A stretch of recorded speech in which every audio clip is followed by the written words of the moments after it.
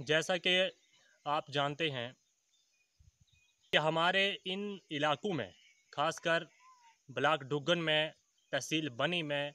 जो डिस्ट्रिक्ट कठुआ का दूर दराज इलाका है, ख़ासकर ब्लाक डुगन तहसील बनी। इन इलाकों में मोबाइल का सिग्नल बहुत कम है। यानी ना इन इलाकों में सही ढंग से नेट चलता है, चाहे इसमें फोर जी हो एयरटेल या फोर जी जियो का हो, बिल्कुल सही ढंग से काम नहीं करता है। और सबसे बड़ा मसला जो है, फ़ोन कॉलिंग भी नहीं होती है। बीच में जब कॉलिंग करते हैं तो पाँच छः मिनट फ़ोन लग, लगने के लिए लग जाता है, चार पाँच मिनट उसमें ज़ाया हो जाते हैं, फिर बाद में वो भी आधे रास्ते में जो बंद हो जाता है, कट हो जाता है। ना सही ढंग से पूरी बात होती है, जिसको हम कॉल करते हैं अपने रिश्तेदारों, कारीब को तो बीच में जो है, फ़ोन बंद हो जाता है। हमारी एयरटेल कंपनी वालों से, जियो कंपनी वालों से डिमांड है कि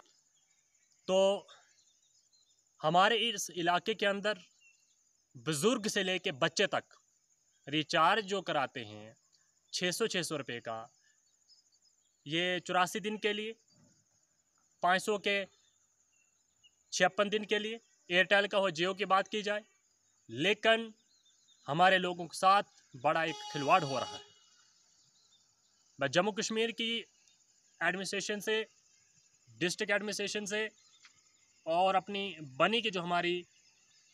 इंतज़ामिया है से दरख्वास्त करता हूँ कि हमारे लोगों के साथ जो ये बहुत बड़ा खिलवाड़ है, ना सही ढंग से नेट चलता है, ना सही ढंग से फ़ोन चलता है तो हमारे इन इलाकों में टावर की बहुत शदीद और ज़रूरत है। मेरी गवर्नमेंट से अपील रहेगी कि इन इलाकों में थोड़ा सा दवार सरबा कराया जाए, जहाँ टावर की और ज़रूरत है। बहुत सारे ऐसे इलाके हमारे इन तहसील बनी में ब्लाक डोगन की बात की जाए, हमारा सुरूनी का इलाका है सिंया का इलाका है, हमारा ये दलंगल का इलाका है, संडार का इलाका है दमान का इलाका बग्यान का इलाका है। और आगे तहसील बनी का कोटी चंडिहार, ब्रिजेडी की बात की जाए